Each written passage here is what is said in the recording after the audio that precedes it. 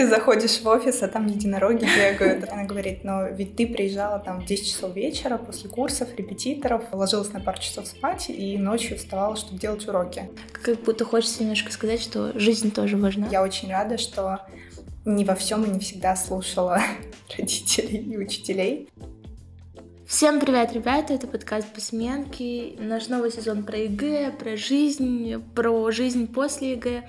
И сегодня у нас очень классный гость а, Диана Лопатникова. Она расскажет нам, существует ли жизнь после школы и высшего образования. Можешь, пожалуйста, немножко представиться и рассказать о себе? Привет! А, меня зовут Диана. Я очень рада быть тут. А, специально приехала из Москвы в Питер, чтобы записаться очно. Мне очень непривычно сидеть на месте гостя, поэтому если в какой-то момент я начну задавать вопросы, пни меня под столом, я могу забыть и запутаться. Я маркетолог, а, работаю в Яндексе, а, в финтехе. Это такой маленький стартап внутри большой корпорации, и мы делаем новый банк. А, до этого я несколько лет занималась маркетингом, всего шесть. Работала в разных компаниях, в Делимобиле, в Сплате, а, занималась э, брендинговыми стратегиями, перформансом. На самом деле, чем только не занималась, потому что горизонтальные переходы стали для меня способом не потерять интерес к моей профессии. Кроме того, я записываю подкаст, э, он называется «Разве это карьера?», и туда я приглашаю разных интересных мне коллег, э, бывших коллег, просто знакомых, и спрашиваю у них, как вообще выглядит жизнь после корпората. Так что мы в, каком-то, в какой-то степени с тобой коллеги.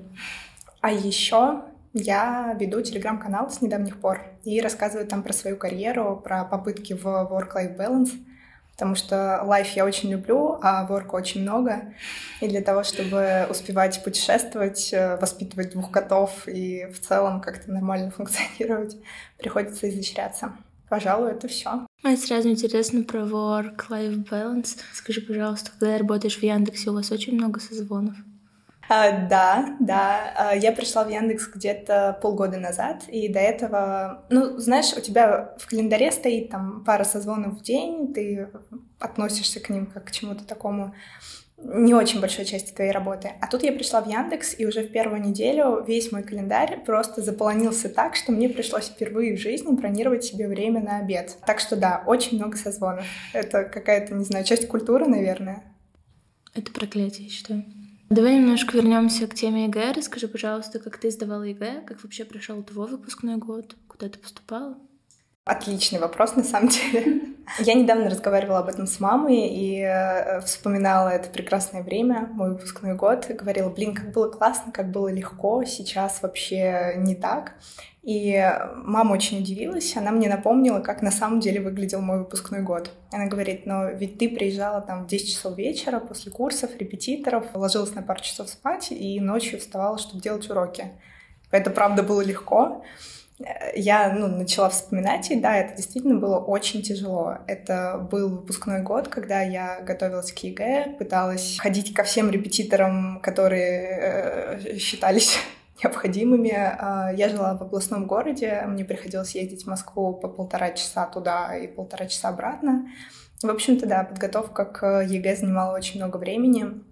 Параллельно с этим очень хотелось как-то пожить, там ходить гулять с друзьями, ходить на какие-то занятия. Это было тяжело, но спустя время ты вообще не помнишь про это. Сейчас, вспоминая свой выпускной год, я Скорее вспоминаю, как приходила на какую-нибудь алгебру или любой другой предмет, который сочла для себя неприоритетным, садилась на последнюю парту, открывала книжку и читала там «Войну и мир» или «Тихий дон», потому что я готовилась к ЕГЭ по литературе, и мне нужно было за год перечитать всю школьную программу. Это было классно. Тяжело, но очень классно. А тяжелое спустя время забывается. А ты вообще переживала по поводу ЕГЭ? Ну, слушай, судя по количеству репетиторов и вставанию ночью, чтобы делать домашку. Ну, определенно. Мне кажется, вокруг ЕГЭ сейчас, э, я думаю, что с каждым годом это усиливается, витает такая аура э, мероприятия, которая определяет твою дальнейшую жизнь. Если ты провалишь ЕГЭ, то ты пойдешь не в тот вуз, который хочешь, или вообще не попадешь в вуз. Короче, конечно, это очень морально давит. И, э, ну, да, я переживала. Я переживала ровно до того момента, пока не выиграла Олимпиаду МГУшную и не поняла, что априори, чем бы я ни занималась, я туда поступлю. Я училась на журфаке МГУ, и это была моя самая важная, самая большая мечта, наверное. Поэтому я очень хотела именно туда. Никуда даже документы не подавала. Поэтому ну, было важно хорошо сдать ЕГЭ. Когда ты выигрываешь Олимпиаду, тебе же все равно нужно его как-то сдать, чтобы подтвердить эту Олимпиаду. Да, тебе нужно набрать минимум 75 баллов по литературе, и в целом ты проходишь. Прикольно. Ну, 75 было для меня таким, знаешь, после тестовых на 99, из-за которых ты очень сильно переживаешь. 75 кажется не очень высокой планкой. Ну да, это правда. А как вообще прошло, прошел твой экзамен? Ты имеешь в виду ЕГЭ? Угу. А в МГУ еще есть вступительные? Да, да, у нас были дополнительные вступительные испытания, но я как раз на них не пошла, потому mm-hmm. что mm-hmm. все зачлось да, автоматически. ЕГЭ, слушай, как, как обычно, наверное, я встала, мы вместе гурьбой пошли в соседнюю школу, писали там ЕГЭ. Я, честно говоря, даже уже не очень помню. Помню, что быстро написала и хотелось как можно скорее уйти. И забыть. И забыть, честно говоря, да. Готовиться к ЕГЭ можно в поддерживающей позитивной атмосфере, например, в Вебиуме. Подготовку можно начать в любой момент, ведь мы каждый месяц запускаем новый поток подготовки к ЕГЭ. На курсах преподаватели разбирают темы ЕГЭ и дают советы, как справиться с тревогой и стрессом перед экзаменами. Ссылка есть в описании подкаста, а также используй промокод «Подкаст» для приятной скидочки. Вот ты сказала, что была прям большая мечта поступить на журфак МГУ. Скажи, пожалуйста, она оправдалась? Ну, в смысле, да, определенно. А, сейчас я вспоминаю свой бакалавриат. А, для контекста я окончила бакалавриат, э, магистратуру, сейчас мне 25, 24. И я вспоминаю бакалавриат с очень теплым ощущением того, что да, мечта сбылась, да, надежды оправдались. И я очень рада, что не во всем и не всегда слушала родителей и учителей, потому что, ну, конечно, журфак — это не то, чтобы стабильный какой-то оплот, такой, как, например, экономфак или юрфак, mm-hmm. или там какая-то понятная профессия. А, но да, я рада, что он был в моей жизни. Но при этом ты не работаешь журналистом. О, да, это правда. А, образование для меня стало таким очень классным местом, где я расширяла свои горизонты, знакомилась с интересными людьми, но работать журналистом нет, я, пожалуй, никогда не хотела. То есть ты изначально шла на журфак, не хотела работать журналистом? Я хотела быть писателем с детства. Мне очень нравились тексты, я обожала книги, и мне очень хотелось когда-нибудь написать свою книгу. Я, честно говоря, не знала других э, факультетов, где можно было бы где учат писать книги. Да, где можно было бы научиться писать и потом стать писателем. А про Лит-институт Горького мне тогда никто не говорил. Вот, но да, я пошла, чтобы когда-нибудь э, стать писателем, не работая журналистом. И в целом, наверное, сейчас двигаюсь к этому плану, но есть небольшая корректива. Я поняла, что чтобы написать книгу, надо, наверное, прожить перед этим интересную, хорошую жизнь. Вот именно этим я и занимаюсь. Живу интересную жизнь, чтобы потом написать. А как тогда получилось, что тебя занесло в маркетинг? Это, это хороший вопрос. Оно на самом деле получилось не то чтобы очень запланировано. На первом курсе нас учили писать журналистские тексты, и тогда я еще не знала, хочу ли я быть журналистом. Нас научили писать новости. Новости — это основа журналистики, и все они пишутся по шаблону. То есть ты садишься, у тебя есть там понятный фреймворк, и ты пишешь новость э, по принципу перевернутой пирамиды. Я посмотрела на эти тексты, которые, знаешь, выглядели как э, штампованные какие-то предметы и поняла, что такие тексты мне не нравятся, и я не хочу быть человеком, который делает, э, как на заводе, одинаковые детальки. Поэтому я начала смотреть вокруг, думала, где еще можно было бы поработать рядом с текстами. Одной из э, гипотез был копирайтинг, пиар. В целом, когда я училась в университете, это была такая популярная тема. Mm-hmm. Ты вроде как пишешь тексты, но при этом пишешь тебе, платят тебе в два раза больше, чем за тексты журналистские. Ну, звучит заманчиво. Поэтому я начала в университете уже с первого курса там брать какие-то подработки в рекламных агентствах, писала пиарные статьи, копирайтинговые разные тексты, задания. А, но моя первая работа не была связана полноценно с маркетингом. Я после первого курса пришла баристой в Starbucks, мне очень нравился кофе. Я решила, что хочу научиться его делать. Это была первая запись трудовой книжки. Спустя три месяца, когда я уже немножко научилась делать кофе, стали появляться какие-то там идеи, знаешь, стать старшим смены или управляющим. Mm-hmm. Я пришла к своему руководителю и говорю, слушай, хочу расти, хочу амбиции. Он говорит, ну, ты пришла три месяца назад, подожди чуть-чуть. А, вот. И я поняла, что мне ну, как-то неинтересно ждать э, просто времени, неинтересно сидеть ради того, чтобы переждать что-то. Поэтому я решила пойти туда, где вот таким вот выскочкам, как я, рады, где можно вырасти вне зависимости от того, сколько тебе лет, сколько ты в компании, и э, маркетинг, пожалуй, сейчас это одна из таких сфер, особенно маркетинг в IT. Там, если ты умеешь и хочешь работать, в целом неважно, сколько тебе лет. Это правда. У нас есть очень клевый специалист, я его обожаю. А, он зовет себя Каша, потому что он Саша Кирюхин. Вот. А, ему, получается, 19 или даже 18, и он уже у нас прям очень крутой. Вот, да, в маркетинге, если ты крутой, если ты хочешь расти, ты будешь... Круто. А вот какая была твоя первая э, маркетинговая работа? Как ты ее нашла? О, а, это был коронавирус. А, в целом, я считаю, что мое студенчество, наверное, закончилось с началом ковида в 2019 году. Я была на третьем курсе, мы все перестали ходить в университет.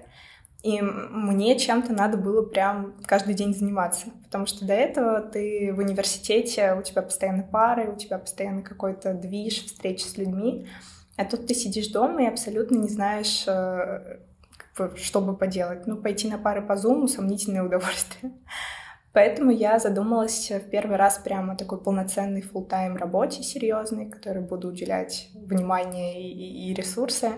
Начала на HeadHunter искать что вообще есть на рынке, вот кем я могла бы быть. А, смотрела вакансии пиарщика, какого-нибудь маркетолога, просто рассылала резюме пачками. Но это сложно было назвать резюме, я просто... Привет, я хочу да, у вас да, работать. Привет, я очень хочу у вас работать. Скорее, какое-то мотивационное такое письмо. Люблю вашу компанию, люблю ваше агентство. И я наткнулась на команду, э, на компанию на вакансию СММ-специалиста в маленьком агентстве на Урале в Челябинске. И э, там, как сейчас помню, платили 30 тысяч рублей в месяц. Для меня это были довольно большие деньги на третьем курсе. И я решила, что буду СММщиком. Отправила туда свое резюме. А, мне провели несколько этапов собеседования. И я тогда занималась своим первым подкастом, и у меня, я помню, на собеседовании прям спросили, а ты готова деприоритизировать все, чем ты занимаешься сейчас ради этой работы? И я с горящими глазами сидела и говорила, да, конечно. Вот, ну, я ушла через год из этого агентства, но да, такая была у меня первая работа. Это был хороший опыт. И потом ты начала развиваться уже в этом направлении, поняла, что это твое.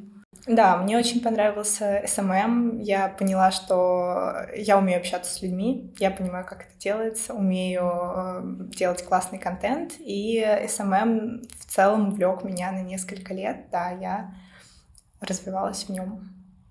А вот ты сказала, что ты потом использовала, ну, короче, горизонтально переходила по роли, чтобы не потерять интерес. Это что значит? Куда ты потом перескочила с SMM? А, да, на самом деле эм, горизонтальные переходы стали для меня намного интереснее, потому что это открывает возможность не заниматься тем же, чем ты занимаешься вот сейчас, а попробовать какую-то смежную сферу, объединить ее с той сферой, с которой ты раньше работал, и картинка, знаешь, она прям расширяется, вот как э, горизонты твоего мировоззрения.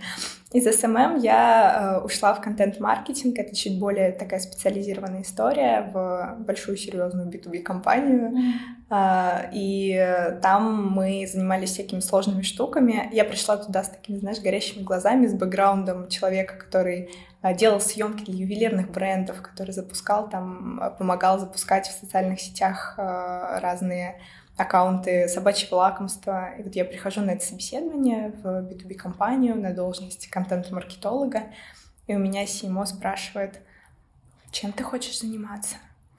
И я, я помню, что я там начала рассказывать, знаешь, про какой-то креатив, который надо внедрить в серьезных B2B-компаниях, что им не хватает живости, человечности, что я сейчас там вообще и технологии искусственного интеллекта внедрю, и буду Инстаграм вести компании этой битубишный. Э, на меня Симо посмотрела, видимо, ей понравился мой запал, я не знаю.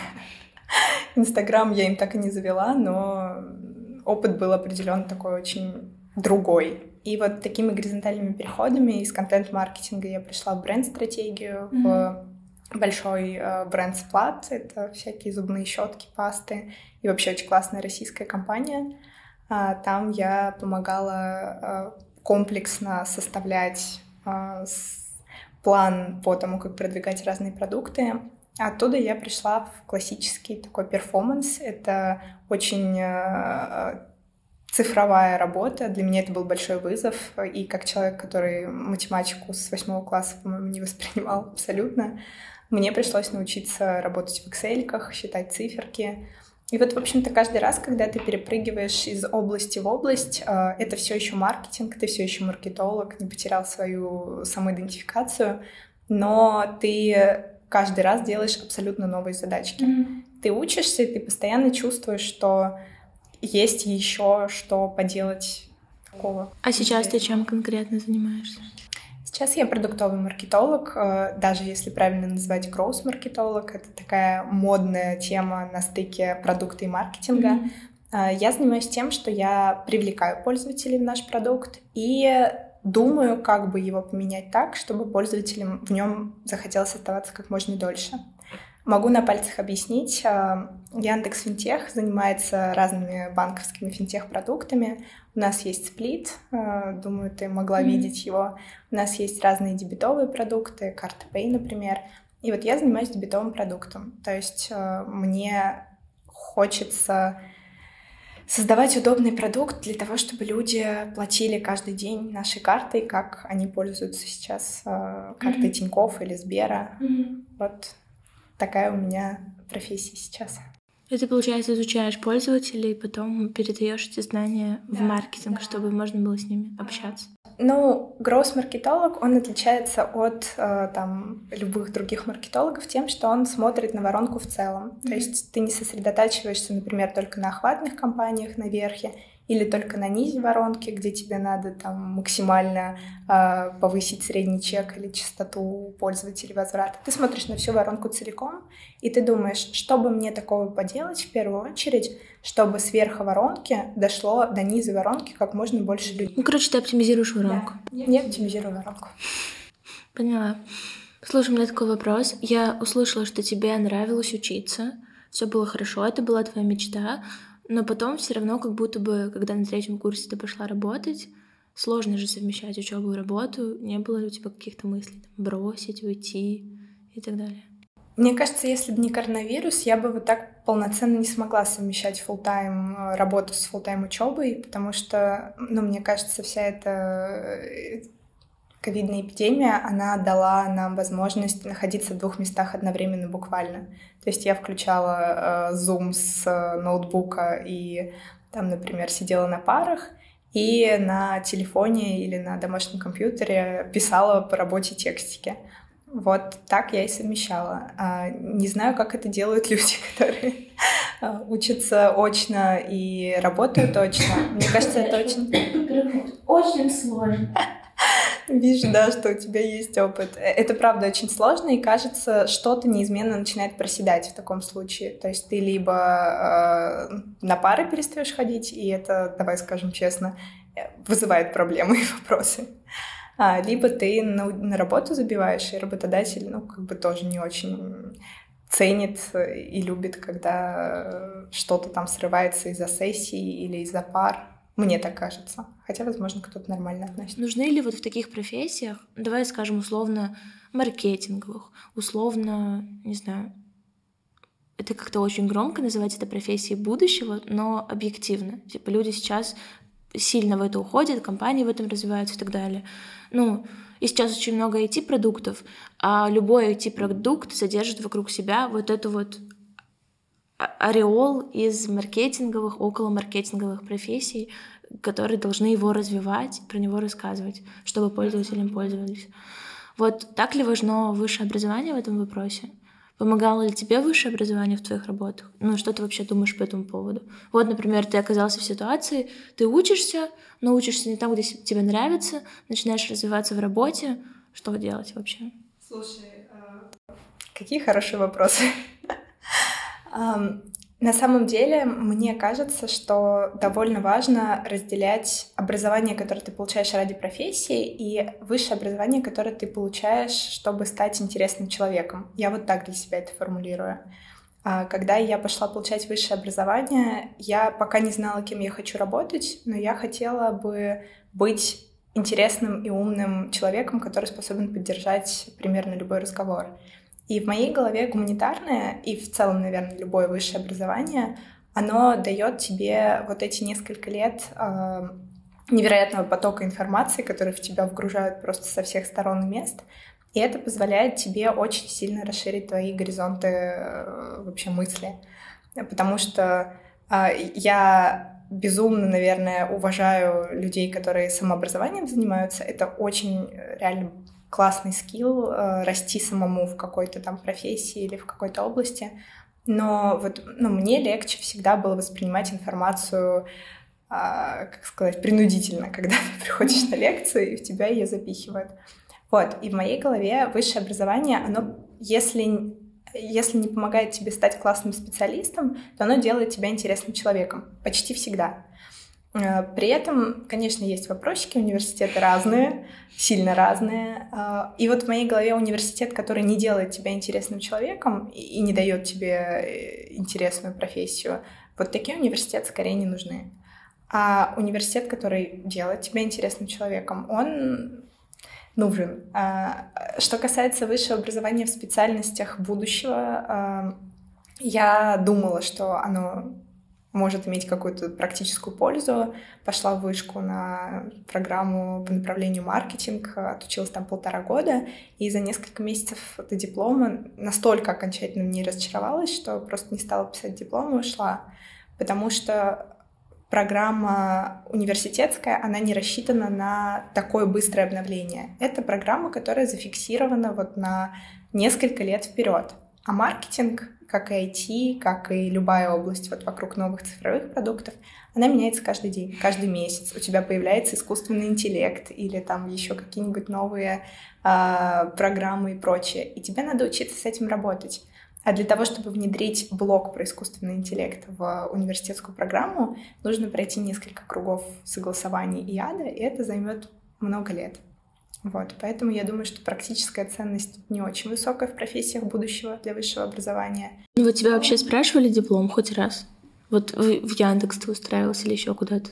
Ну, ты знаешь, да, ты когда устраиваешься, там уже где-то на последних этапах собеседования говорят, кстати, не забудь, пожалуйста, паспорт, э, диплом и все прочие формальности, потому что мы должны тебя оформить. Вот. На собеседовании я, честно говоря, ни разу не рассказывала про свой опыт обучения? Про свой опыт, э, да, обучения. Иногда кто-то спрашивает из разряда там, о, где ты учился? Но знаешь, скорее больше с позиции университет это ведь очень про правильный выбор. То есть э, университет это твое комьюнити, которое тебя окружает несколько лет. И если это какой-то левый университет, который там расположен, не знаю, формально где-то очень-очень далеко, то это просто означает, что ты ну, как будто бы не очень приоритизировал вот эту вот сферу для себя, когда ты выпускался из школы. А если ты поступил в сильный универ, если ты там получил какие-то классные знакомства, если ты постарался ради этого, то это ну, классная галочка просто в твоем mm-hmm. резюме. Знаешь, я очень люблю ярлыки, мне кажется, они помогают э, чуть-чуть э, э, понимать э, контекст э, человека. И вот такой вот ярлык классного университета, ну, лично мне с ним комфортно. Ну, я говорю, это как социальная ачивка. Да, социальная ачивка — это очень хорошее определение. Ну да. Ну, видишь, сложно, когда ты в середине, и тебе надо либо получить эту социальную ачивку, либо все таки признаться, что тебе она не нужна, и хочешь развиваться в другом. Очень, на самом деле, важно ну, осознать, что несколько лет твоей жизни — это реально суперценная штука. И если ты уже сейчас находишься в том месте, где тебе некомфортно, и некомфорт не исчезает через несколько месяцев, а это прям становится все больше и больше проблемой, то, как мне кажется, тут надо ну, любую социальную ачивку деприоритизировать, потому что твой личный комфорт, он всегда важнее. Факт чтобы потом не умереть, когда закончишь университет. А расскажи, пожалуйста, немножко, как ты вообще попала в итоге в Яндекс И есть ли какая-то разница, потому что, ну, вообще-то это достаточно крутая компания, я бы сказала, очень хорошо, очень крутая компания, такой гигант на рынке айтишный, в России, по крайней мере, как я это чувствую. И как будто бы там должны быть какие-то особые волшебные вайбы, условия. Ты заходишь в офис, а там единороги бегают, разбросанные вафли, молочная, молочная река. К сожалению, единорогов нет. А, но Яндекс действительно очень крутая компания. Это одна из, мне кажется, топовых IT-компаний. Если мы говорим про продуктовую IT-шку в России, то вот Яндекс, Тинькофф, Авито, Озон и, пожалуй, еще несколько компаний — это, наверное, лучшее место, где можно оказаться, если ты хочешь быстро расти и делать классные digital штуки. А, я мы поговорили про социальные ачивки, я тоже очень их люблю, и мне всегда очень хотелось, чтобы в моем резюме было написано, что я работала в Яндексе чтобы я могла там где-нибудь вскользь в разговоре сказать, вот когда я работала в Яндексе, поэтому да, я не первый год э, хотела туда попасть, и э, там довольно много собеседований, как в любой большой серьезной эти компании. И раньше, когда я подавалась, я проходила на какие-то этапы, но никогда не доходила до финала, никогда не видела вот этот вот заветный офер на руках. И полгода назад я меняла работу. До этого я была в Телемобиле, и мне хотелось, ну вот, я думала, если не сейчас в Яндекс, то уже больше в Яндекс мне не надо, потому что ну, ну все уже, э, пора свой бизнес делать.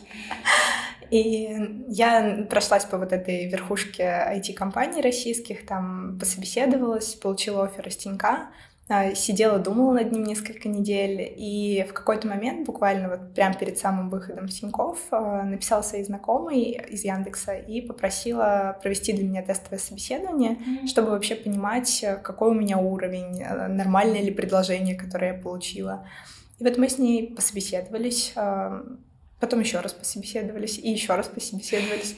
И она говорит, слушай, а может ты лучше к нам выйдешь?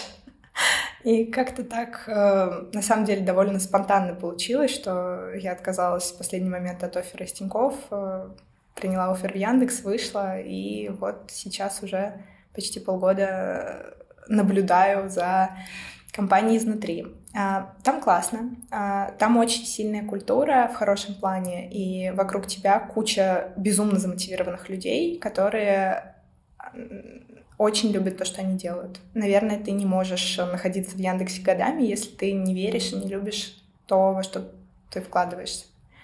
Э, нас действительно любят с точки зрения там, офисного пространства. У нас очень уютно. У нас э, везде на кухнях там лежит еда, можно поспать, можно сходить на массаж. Все это сделано, чтобы ты эффективно и классно работал. И, ну, это не нужно идеализировать, то есть Созвоны все-таки есть. Созвоны все-таки есть, и есть свои сложности, но overall, наверное, это самая э, пока интересная среда, в которой я себя вижу для развития. Вот. Так что, да, пожалуй, это интересный опыт. И еще хочу поделиться таким маленьким интересным опытом. У Яндекса довольно много офисов в разных точках мира. И э, буквально там неделю назад я вернулась из Алматы. Приезжали туда по делам.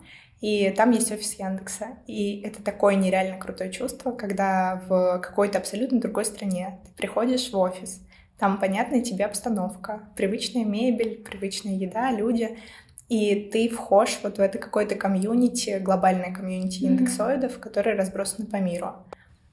Прикольно, это... я не знала, что в Яндексе есть еще в других странах офисы. Да, там в Сербии, в Турции, еще где-то. В общем, их прям много. Это круто. А можешь немножко поделиться про подкаст? Вот ты сказала, что делать свой бизнес. Как вообще возникла идея делать свой подкаст? Я услышала, что это еще было до первой работы. Как вообще? Да, мне на самом деле очень нравятся подкасты. Я сама их слушаю просто пачками. И еще мне очень нравится производить контент, поэтому я нашла какой-то матч в том, что ты просто сидишь и болтаешь в микрофон, и при этом это еще кому-то со стороны интересно. Это готова слушать, это, по-моему, отлично.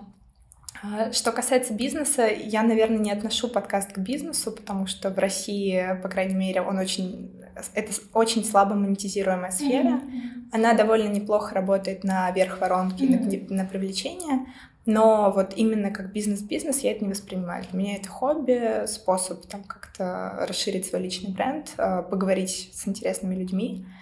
Вот. А, собственно, свой проект, ну, у меня всегда, наверное, была такая мечта что-то запустить свое, попробовать себя в роли SEO, CMO, CPO в одном лице, когда ты реально принимаешь все решения, которые только можно. И это определенно очень интересный опыт, просто сейчас я не чувствую, что готова полноценно mm-hmm. в него влиться, поэтому я пока учусь. Учусь в компаниях. Мне в целом очень понравилось твой болтать. Вот. А я бы хотела тебя попросить дать какой-нибудь совет ребятам. Давай разобьем его. Какой-нибудь совет ребятам, которые сейчас э, в одиннадцатом классе сдают ЕГЭ и думают, куда поступать, думают вообще, с чем связывать свою жизнь. Это вот первая часть. Я думаю, что, во-первых, у этих ребят сейчас определенно очень классный этап. И я понимаю, что в моменте это может ощущаться как э, огромный загруз, как куча проблем, как безумное э, вообще желание поскорее это закончить. А, и это, наверное, сейчас будет немного странно звучать со стороны, но поймите, что этот период, он очень ценный, и он очень классный. Вы потом будете вспоминать это реально с улыбкой, с теплом и с благодарностью самому себе. Поэтому в моменте Выдохните, расслабьтесь и поймите, что ничего плохого не происходит. А на самом деле вы стоите на пороге очень классного и важного периода. ЕГЭ действительно во многом определит дальнейшую судьбу.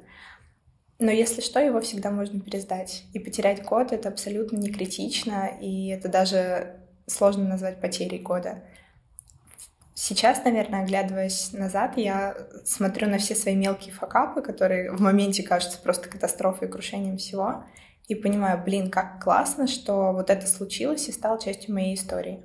Я хочу, чтобы вы чуть-чуть расслабились, а, безусловно, продолжали стараться, но делали это без эмоционального напряжения потому что именно оно забирает больше сил. Ну, слушай, здесь есть две истории. Одна история, если, например, как ты или как я в свое время, типа, хочу в СПБГУ, хочу в МГУ, хочу вот на этот факультет, хочу вот сюда.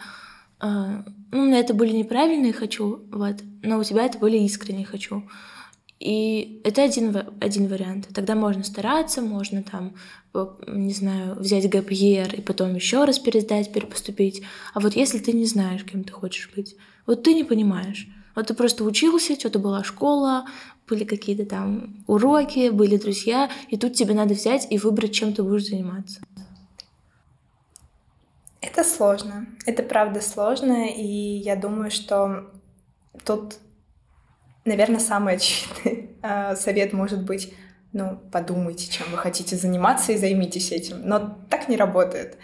Если ты не придумал вот сейчас, куда ты хочешь идти, то вряд ли это случится за день или за неделю или за месяц. Тогда, наверное, неплохая стратегия — это попробовать попасть в какое-то место, которое сейчас тебе кажется ну, наиболее хорошим, а, принять, что, окей, это может быть неправильный выбор, я могу потом пожалеть, а, но не ждать от себя, что вот прямо сейчас в моменте ты решишь, кем хочешь быть всю свою дальнейшую жизнь. Так не бывает. Просто пойди в какое-нибудь хорошее, нормальное место. Угу, угу. Потом определишься. А вот если ты уже... Вторая часть вопроса. Если ты уже поступил, ты уже учишься, и ты хочешь как-то начать где-то развиваться, вот куда идти, куда смотреть? Мы, кстати, не поговорили про возможности, которые дает универ. Вообще мне всегда казалось, что условно МГУ, СПГУ, какие-то такие крупные универы, они особенны тем, что там особенная среда и тебе предоставляют возможности каких-то стажировок, еще чего-то. Ну вот давай нейтрально возьмем. Ты не использовал эту возможность универа. Я тоже на самом деле не использовала. Зачем я там? Ну, не суть. А, вот если ты в каком-то обычном университете, не каком-то топовом, и там нет такой возможности, среды для роста, среды, что тебя там зовут, не знаю, в научный грант участвовать. Вот как тебе начать развиваться? Что-то куда-то идти, где-то что-то? Я думаю, что очень-очень сложно начать развиваться, находясь вне сильной среды. Мне кажется, что вот эта вот пресловутая сила воли, о которой ты сейчас говоришь, типа встать на морально-волевых, там, найти самому себе гранты, выбить самому себе стажировку, это очень-очень сложно. И в моей голове каким-то самым логичным шагом, когда ты осознаешь, что ты не в сильной среде, является не как бы мне там сделать X, а как бы мне попасть в сильную среду. Mm-hmm. То есть ты сейчас, э, человек сейчас находится там, где ему очевидно кажется, что мало возможностей. Ты не сможешь создать для себя возможности э, сам своими руками, просто потому что ты не знаешь всех возможностей, которые есть. Да, ты можешь нагуглить э, какие-нибудь стажировки или что-то еще, но находясь в сильной среде, тебе даже не придется тратить время и ресурсы на то, чтобы искать эти возможности. Их будут тебе приносить. Mm-hmm. Вот. И э, мне кажется, что тут довольно неплохая стратегия попробовать понять, где ты можешь вот эту сильную среду получить. Ну, звучит круто, это интересно. Я никогда об этом не думала просто в таком ключе. Я думала, надо разобраться и та-та-та. А прикольно. Я сейчас сам все поменяю, я сейчас сам все сделаю. Вот это, это можно, но очень сложно. Намного проще. Это как заниматься самообразованием. Можно в целом выучиться на кого угодно, айтишника, там еще, не знаю, больше профессий. ну, в общем, можно выучиться самостоятельно. Точно, да. Сложнее ли это тоже точно, да. Я недавно прочитала одну классную книжку, она называется «Сила воли не работает». А, я ее, правда, всем рекомендую. И эта мысль, она оттуда. Она про то, что ты на силе воли можешь дойти куда-то, но находясь в правильной классной среде с людьми вокруг, которые очень замотивированы, ты дойдешь еще дальше, и это mm-hmm. будет легче. Ну, вообще, сила воли — это какое-то такое, как будто бы из прошлого понятие. Ну, лично для меня, знаешь, такое через преодоление, через боль, через сложности. Как будто не хочется так жить, не хочется в себе взращивать вот этот вот как не знаю, паттерн, да-да-да, паттерн поведения. Я через боль. Ну, давайте как-нибудь по-другому научимся. Да, да, звучит отлично. В целом все. Если есть какое-то финальное слово в целом для ребят, для, не знаю, для кого угодно, для взрослых, может быть, для родителей. Это первый раз, когда эм, я абсолютно не готовилась к такому вопросу. И, наверное, сейчас э, очень хочется не упускать такую возможность. И просто сказать о том, что жизнь на самом деле супер классная, она дает огромное количество возможностей. И в моменте, если тебе сложно, если ты выгораешь, если у тебя какие-то проблемы, это кажется очень э, серьезным. Но потом, спустя время, плохая, плохая череда событий, она обязательно заканчивается. И в моменты, когда выходит солнышко, даже в Питере верю, что оно выходит, ты оглядываешься назад и думаешь, блин, какой я молодец, как много я сделал, и как я рад сейчас находиться вот в этом месте. Mm-hmm. Хочется, чтобы ребята не забывали об этом. А родителям пожелать поменьше давить на детей. Mm-hmm. У нас это очень модно, мне кажется. Знаешь, что последнее скажу? Э, я просто подумала, что мы так много говорили сегодня про достижения, универы, работы, тра-та-та. Как будто хочется немножко сказать, что жизнь тоже важна, вот этот work-life balance, условно. Что надо еще с друзьями гулять, кушать и сериалы смотреть иногда. Вот. Обязательно надо отдыхать, и надо отдыхать качественно. То есть, э, когда ты чувствуешь, что устаешь, э, вот на морально-волевых добегать прям не очень хорошая стратегия. Очень большой ресурс, он в отдыхе. Он в сериальчиках, во вкусной еде, в друзьях, в отношениях, в семье. На самом деле для меня большое открытие последнего года, когда я вышла замуж, что семья — это невероятно сильный ресурс. Как родители, так и вторая половина. Вот мне кажется, что тут очень важно вот этот баланс соблюдать mm-hmm. во всем. Все, теперь все, абсолютно сказали. А, всем пока, ребята. Это был подкаст Бессменки. У нас была потрясающая гостья. Спасибо большое, что пришла. Спасибо, что пригласила. А, слушайте везде, вот это подписывайтесь, ставьте лайки, все туда-сюда. Все, всем пока. Пока-пока.